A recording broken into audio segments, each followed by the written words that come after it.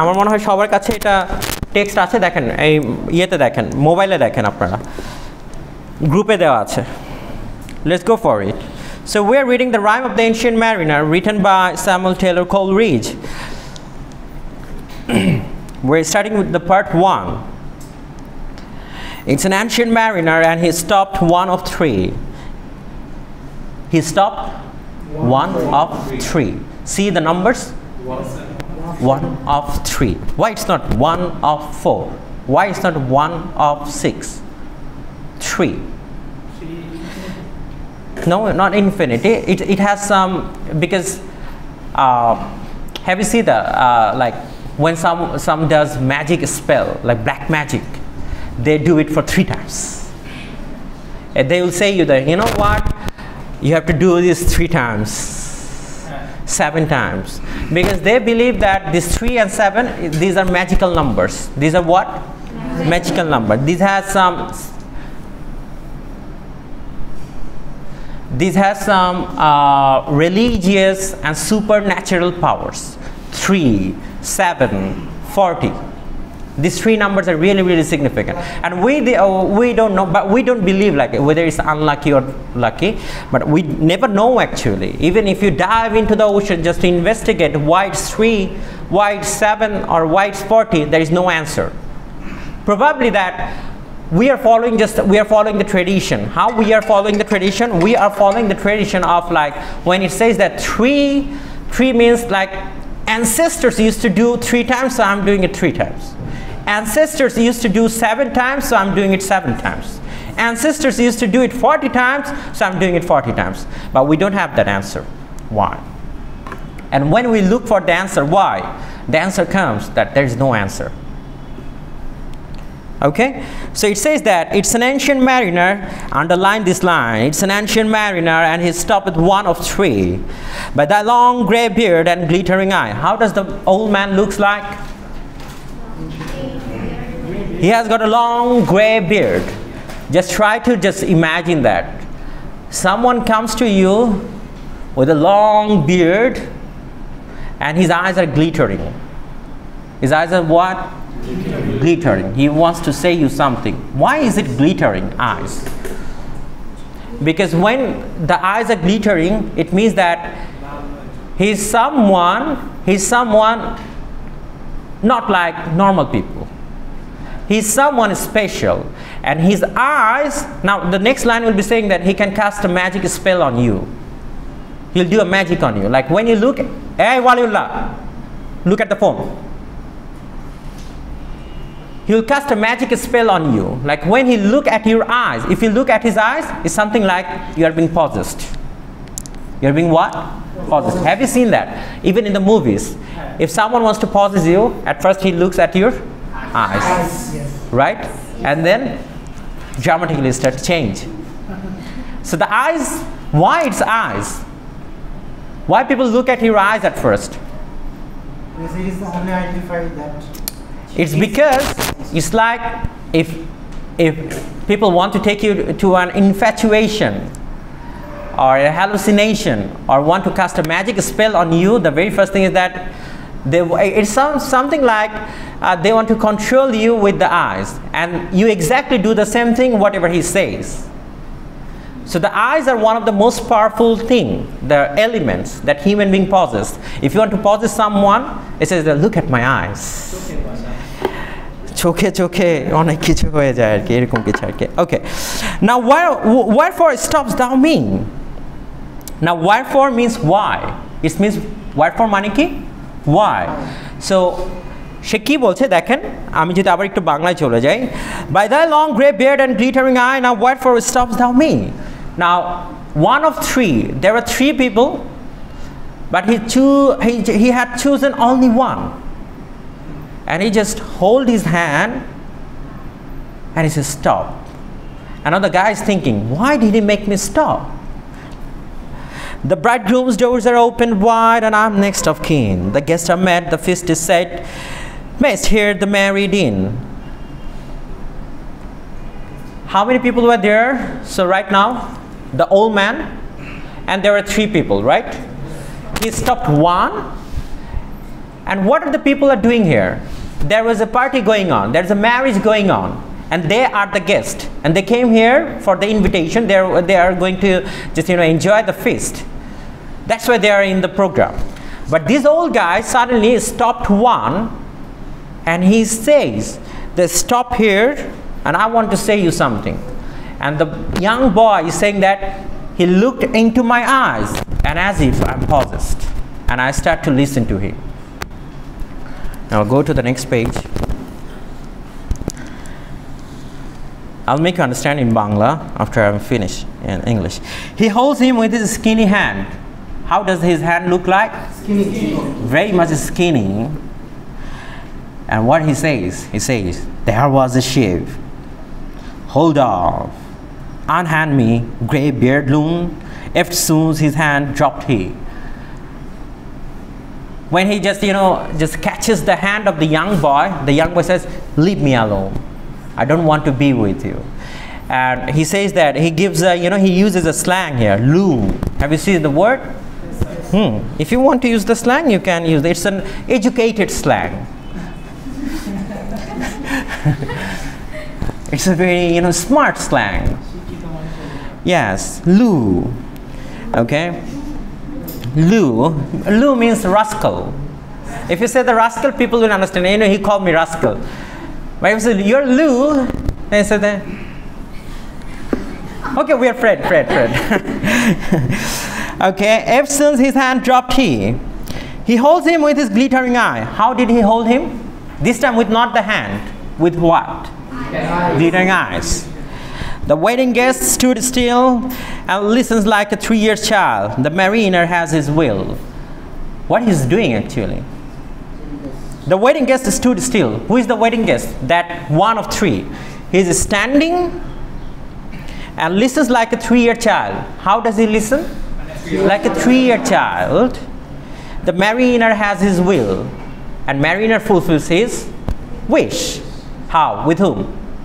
With this old, uh, with this young boy, right? And the young boy starts to behave like what? Three-year baby, three-year-old baby. He starts to listen everything. The wedding guest sat on a stone he cannot choose but hear, and thus spake on that ancient man, the bright uh, mariner. And what did he sit?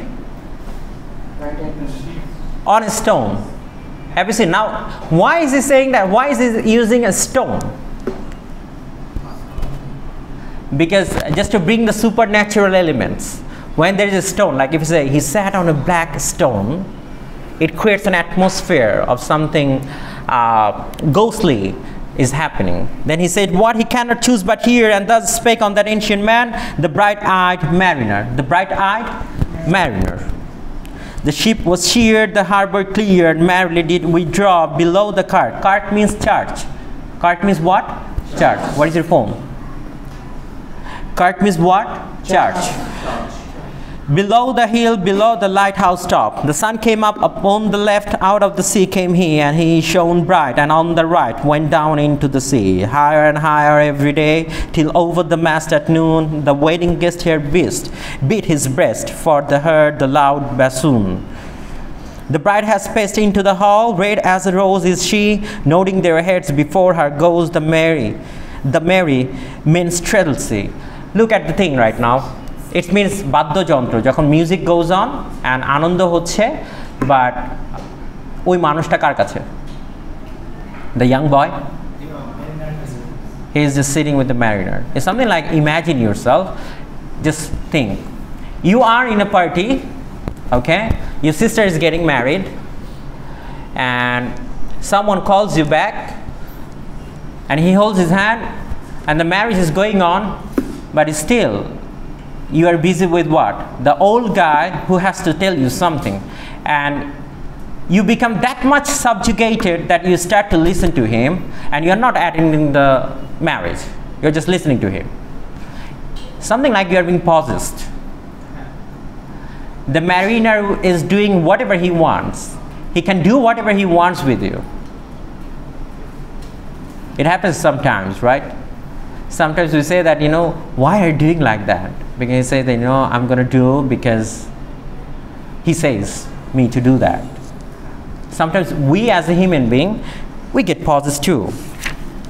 I know that you're not getting that, uh, getting the concept actually, what's going on. Mr. Akib looks like, you know, uh, he never heard of English before.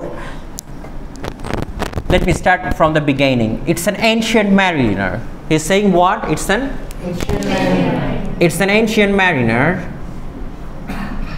So uh, just try to just. Why he's not saying that old mariner? He could have said the old mariner, right? Why is he using the ancient mariner? Huh? No. Ancient gives you uh, gives you an antique look. When you say that there was a time, long, long time, there was an ancient time. Like it gives you, it takes you back to past history. Can you remember that one of the most element, element of the romantic is what? Getting back into the past. Right? This is yeah. So this is one of the element of romanticism, getting back into the past. Okay. Can you remember those lines? Illusion has a past. Yes, sir. What was that line? Illusion has a past. So Mr. Samuel Taylor Coleridge is writing the poem, but when he writes the poem, he brings the illusion, right? Because we know that there was no ancient man. We know that there was no young man. But why is he just taking you back to that young man and to that ancient guy? Long, long time ago, there was an old guy who was a magician, who was, you know, a genius, who can control the human soul. Have you read the Dr. Faustus? Have you read it? Yes, So Dr. Faustus was written in the motto of, in the vision of Renaissance. Have you read the Dr. Faustus? Really? Okay. So what, what happens in the Dr. Faustus? You find that the magic takes place. You find that the souls are being sold. You find that uh, he can control the unnatural, the supernatural elements. He can do whatever he wants. Right? Who? Dr. Faustus. So it's very true that. a- And do you believe that the black magic exists? Yes, sir. Uh, do you believe that there are some supernatural elements that roam around us? Yes, sir. No, no. Not. Yes, Sir, yes, sir. Yes, yes, sir. Gene, I think gene exists. Gene, gene is a. Uh, because uh, do, you- do you believe that the gene exists? Yes, yes. It has to exist because uh, it's very true that before, before God has created human beings, God has created what? Jinn. And every time you read the Quran, even in the Bible, the very first thing God will be saying you that at first it comes jinn, then the name of the human comes because the jinn was the very first creation of God. So jinn is something like you cannot see the genes, right? Can we see the genes? No, we cannot see the genes. Why? Because the meaning of the genes mean it came from the jana, it means the unseen. We cannot see it. So God will balance you in the hereafter. You will see the genes, but the genes will not see you in the hereafter. It's going to be a balance for you. And sometimes you know what the genes you know play with you. and you don't see that. Uh, he, he sometimes tickles you on your back. Huh? Sometimes the gene tickles on your back and you feel like who is doing that? huh? There's some. I think I, I, I- I don't know like whether it exists within you or not, but whether you believe in uh, or not, but it exists. It has to exist because you know uh, on the day of judgment, both the community, genes and the human beings, uh, the hereafter is for the genes and the human beings. They will be uh, they will be accountable too, and the human beings are too. They will be accountable as well. So it exists. The black magic exists. People do black magic. Uh, and how do they do the black magic? Dr. Faustus. I know that there are so many incidents that you're not going to believe in Dr. Faustus. That how he souls his life to the uh, souls to the devil, but it happens when the black magicians, those who perform, especially it came from the German culture, it's known as Gothic. So, the, uh, have you ever noticed that the, all the magicians they wear black dresses, Yes, sir. they wear red dresses, abs- pure red. Everything is red.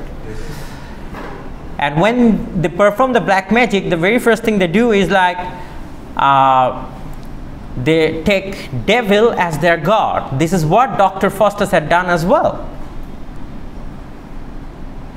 What did Dr. Faustus do? He sold his soul to the devil, Lucifer. Right? The same thing. When you take Lucifer as your god, then you find that yeah, the Lucifer, and then the, what did the Lucifer do actually? He gifted you so many powers. You can go wherever you want. You can, and, and what did Dr. Faustus do? He committed all the possible sins that a human being can commit on this earth. Right? He did every possible thing, every kind of sins he committed. Who? Dr. Faustus. So when you are, have you seen that there are some notice uh, even in the street, uh, uh, like, huh? No, no, no. It says that it says that uh, স্বামী স্ত্রীর অমিল it says that আপনি কি চিন্তিত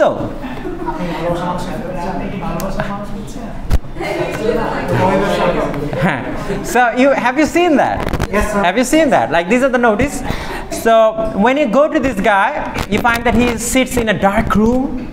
Yes, sir. Yes, sir. have you visited? The brooms are Uh, he sits in the dark room and you find that he has got long beard. You can't even see his full face because of the weight of the beard. And you see the you know some lighting. The candles are going on. The candles are lighting up. And he has something on his neck and in his hand all right and when you go when you go he exactly tells you everything why did you come here? And you say oh my goodness. He knows everything. And you just and you just submit uh, you, you just submit yourself to him right? Right? And you say that okay baba you know what? I used to love a girl you just need to give a ban. They, they call it the ban mere dibe. They call it ban right? In in our it's called actually uh, not. Gittu mara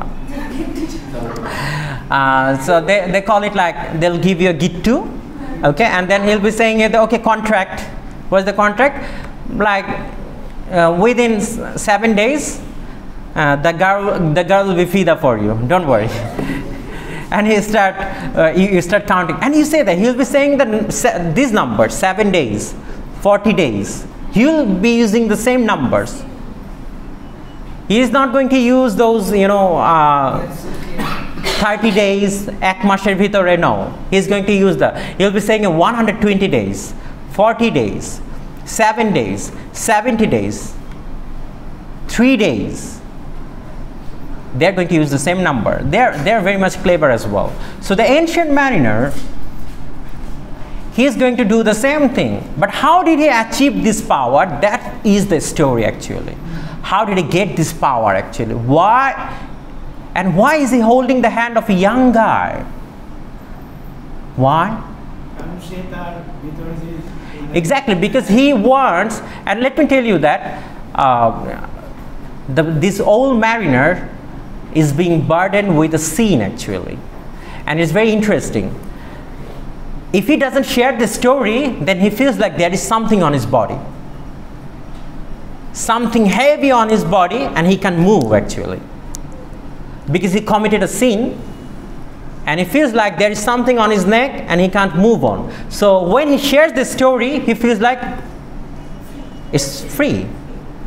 That's why. But and the condition is that you cannot share the story with the, with the old people. You have to share the story with the young people. With what? The young people. And it's not the all the young people. You have to find out who would be the best customer for it.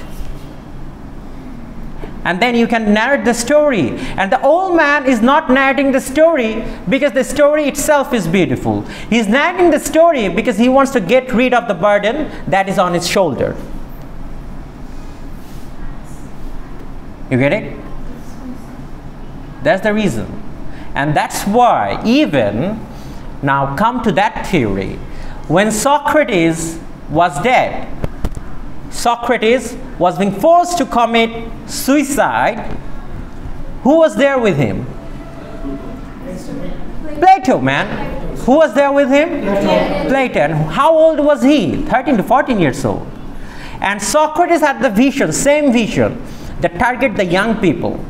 Because if you want to convey the message, then you need to target the young people. Same thing.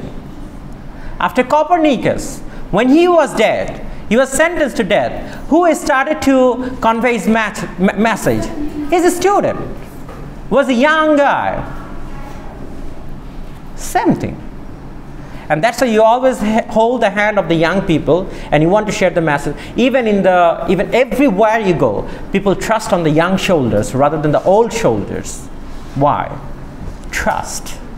And they believe they will sustain a long life and they'll give you they'll, they'll give you the you know the better results believing the old is all about the experience. This old guy the old mariner is all about what? Experience. And if you want to share the experience you are not going to share the experience with an young uh, with an old guy because you are going to share the experience with an young guy. That's the reason. But anyway so can you just stop the recording